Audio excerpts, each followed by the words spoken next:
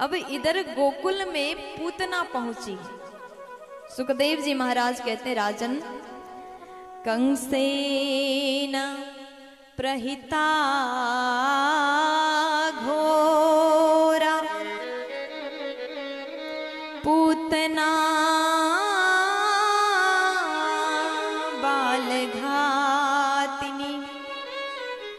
शिशुं सचार निघ्नन्ति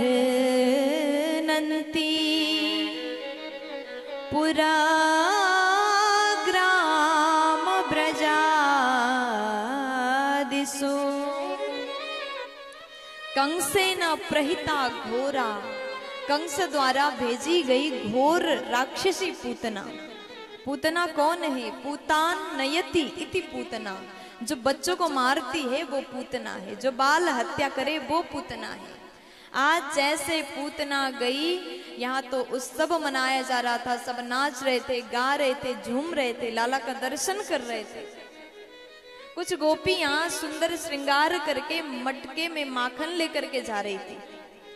अब पूतना जैसे गोकुल की ओर आई, उसने दूर से देखा। गोपियाँ जा रही है सुंदर बन के जा रही है।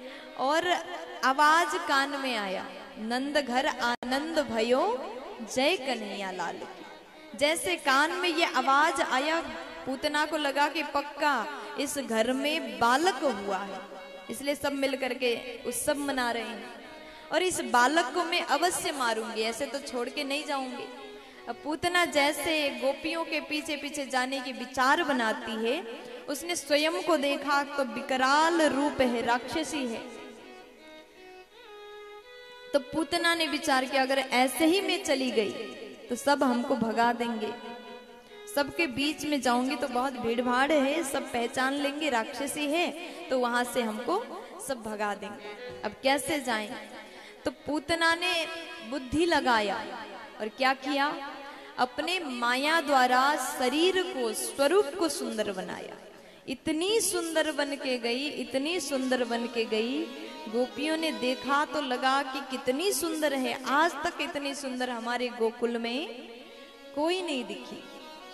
ऐसा लग रहा है कि मानो साक्षात बैकुंठ से लक्ष्मी जी भगवान का दर्शन करने के लिए आ रही है। इतनी सुंदर। जैसे गोपियों ने देखा, आज तक ऐसी सुंदरता नहीं देखी। जैसे भीतर गई पूतना, नंद रानी से कहती है कि मैया, बधाई हो। मैया ने कहा कि इनको तो कभी देखा नहीं। देखो, कोई अनजान व्यक्ति आपके पास में आए और बोले कि हम आपको बहुत अच्छे से जानते हैं। क्या आप हमको नहीं जानते क्या? इस तरीके से बात करते हैं तो ऐसे परिस्थिति में हम ये भी नहीं बोल सकते, हम आपको नहीं जानते। भले ही पहचान में नहीं आ रहे हो, फिर भी बोलना पड़ता हाँ हम आपको जानते, बड़े अच्छे से जानते हैं। आज यशोदा जी कहती हैं कि आइए, बैठ जाइए। घर में आई हैं, बधाई दे रही हैं। पूतना बोली कि, मैया, मैंने सुना कि आपके घर में लाला हुआ, इसलिए हम बधाई देने के लिए आए। जैसे लाला के लिए बधाई दिया, देखो, कोई भी माँ होती है ना, अगर कोई सामने वाला उसके बेटा की, उसके बालक की तारीफ़ कर दे तो माँ ऐसे ही खुश हो जाती है। प्यार से बोलो। अब जैसे पूतना भीतर गई, मैया बोली, बैठ जाए। अब पूतना जैसे बैठी तो थोड़ी देर में कहती, मैया, मैं बस आपके बालक का दर्शन करना चाहती हूँ, एक बार एक बार लाला का दर्शन में करना चाहती हूँ। मैया ने कहा, इतनी सुंदर है, दर्शन के लिए आई है तो कराई देती हूँ। जैसे भगवान के दर्शन की चाहत उसने किया, इच्छा प्रकट किया। मैया बोली कि देखो, भीतर कन्हैया सो रहा है, जाकर के दर्शन करके आ जाइए। अब पूतना ने जैसे मैया का आदेश पा लिया, उसके बाद में भीतर चली गई। जैसे भगवान को पता लगा कि पूतना मौसी आ रही हैं तो भगवान ने नयन को बंद किया। राजा परीक्षित पूछ रहे, प्रभु, ऐसा कैसे हो सकता है? भगवान का दर्शन करने के लिए पूतना इतनी सुंदर बन के आई। भगवान एक बार देख देते तो क्या जाता? देखना चाहिए ना, कोई आपके लिए तैयार होके आया है। लेकिन उन्होंने नयन बंद क्यों किया? सुखदेव जी बोले, महाराज, इसके पीछे बहुत से कारण, केवल एक कारण नहीं। तो बताइए, कारण क्या है? तब सुखदेव जी बोले कि देखो, राजन ऐसा है कि भगवान को पता है कौन देखने योग्य है और कौन नहीं है। उस पर कभी ना देखे जिस पर दृष्टिपात करने लायक ना हो। जब राम जी जंगल में गए थे, वनगमन भगवान श्री राम का हुआ तो सुरपड़खा आई थी। भगवान से शादी करने के लिए आई थी। कितनी सुंदर बन के आई थी।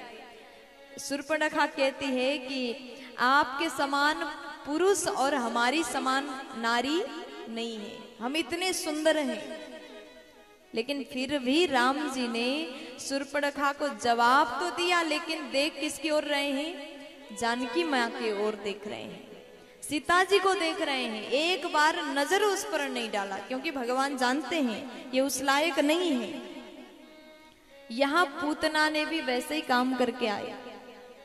वेश बदल करके आई है। भगवान ने एक बार भी नहीं देखा। नेत्र बंद कर दिए। जैसे आँख बंद किया। सुखदेव जी बोले कि महाराज, कारण और भी है। देखो, भगवान के दो नयन है ना, सूर्य और चंद्र है। सूर्यदेव और चंद्रदेव भगवान के दो नयन हैं। और सूर्य चंद्र आपस में बात करते हैं, ये राक्षसी आ रही इसको प्रवेश नहीं देना। इसलिए सूर्य चंद्र ने अपने लोक के गेट को बंद कर दिया। इसलिए भगवान ने नयन बंद किया। और ये भी हो सकता है पूतना का भाव खराब था। अगर भगवान एक बार देखते, दृष्टि कर देते तो हो सकता उसका भी भाव शुद्ध हो जाता। भगवान को मारने के लिए आई थी, उसका मन बदल सकता था।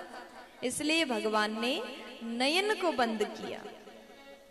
और चौथा कारण ये भी है कि देखो, आप भगवान के मंदिर गए हो तो वहाँ पर बनावटी करके जाओगे तो भगवान आपको नहीं देखेंगे। जब भी आप भगवान के पास में जाइए, दुनिया के सामने तो खूब मेकअप करके जाइए, सुंदर बन के जाइए, दुनिया वाले केवल आपके बाहरी रूप को देख करके आपको जज करते हैं। केवल आपके चेहरा को देखते हैं, आपके पहनावे को देखते हैं। आप कैसे लग रहे उसको देखते हैं। लेकिन भगवान ना आपके फेस को देखते हैं, ना आपके मेकअप को देखते हैं ना आपके कपड़े को देखते हैं। भगवान देखते तो केवल आपके मन को देखते हैं। इसलिए भगवान के पास में जाना है तो केवल बाहर से नहीं, भीतर से सुंदर बन के जाइए। पूतना भीतर से तो काली है, लेकिन बाहर से खूब सुंदर बन के आई। इसीलिए भगवान ने उसके ऊपर दृष्टि नहीं डाला। अब पूतना ने जैसे भगवान को देखा तो भगवान सो रहे हैं। उसको ऐसा लगा कि गहरी नींद में नेत्रबंद है। अच्छा अवसर है। जैसे पूतना ने भगवान को उठाया, पालने में से उठाया, और उठाने के बाद में दूध पिलाने लगी। जहर मिलाकर के आई थी। लेकिन भगवान ने साथ में प्राण को पीना प्रारंभ कर दिया। अब पूतना ने विचार किया, एक तो इतना भारी छह दिन का बालक प्राण को खींच रहा है, कष्ट होने लगा। अब पूतना तड़पने लगी, रोने लगी, चिल्लाने लगी, अरे बालक छोड़ दे छोड़ दे, कष्ट हो रहा है। लेकिन भगवान बोले, देखो मौसी, जिसको एक बार हम पकड़ते हैं ना, फिर उसको छोड़ते नहीं है।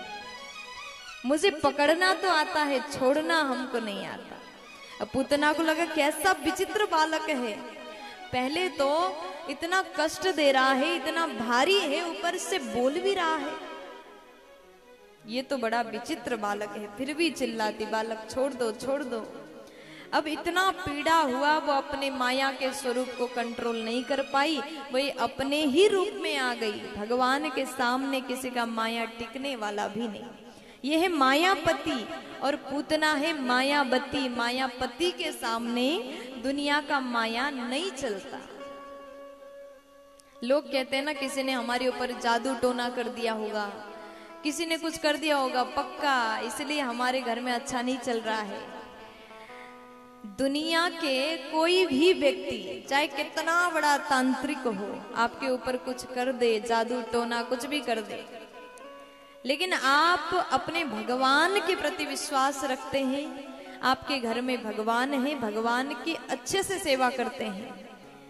तो दुनिया का कोई भी जादू, टोना आदि शक्ति आपको थोड़ा सा भी आपका कोई नुकसान नहीं पहुँचा सकता।